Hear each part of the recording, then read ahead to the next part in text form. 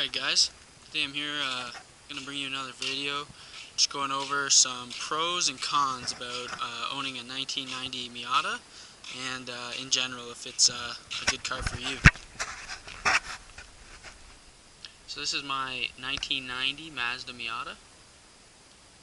I bought this car for about $2,700 Canadian, which, fuck that is in America, who knows.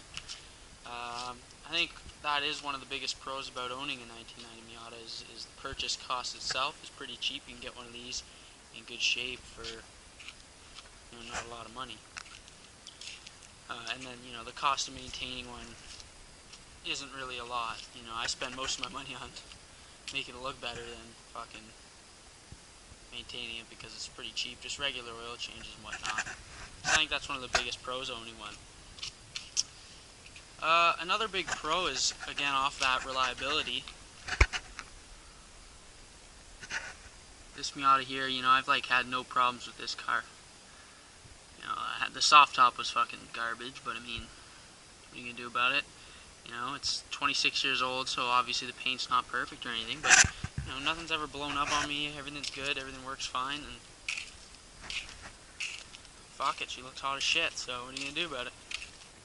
Yeah, parts for this car are, everywhere, you know, online there's fucking mad spots for to go and shit, and like there's a huge aftermarket following for these, not to think one of the bigger pros of owning one of these.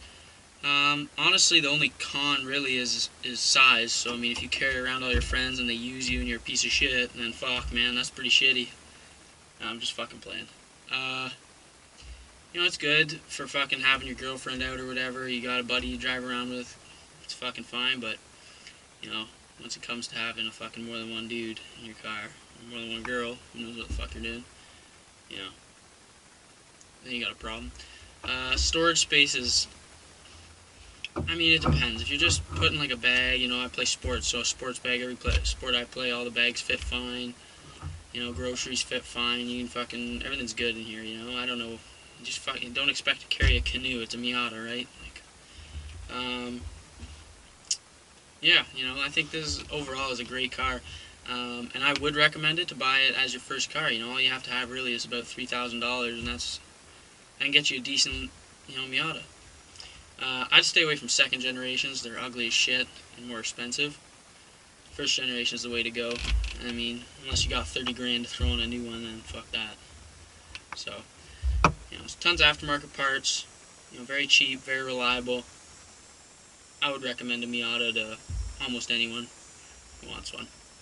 Hey, thanks for watching Northern Automotive. We appreciate you almost as much as donuts and strippers. Almost. I would say subscribe for more, but you already know that. Stay glazed.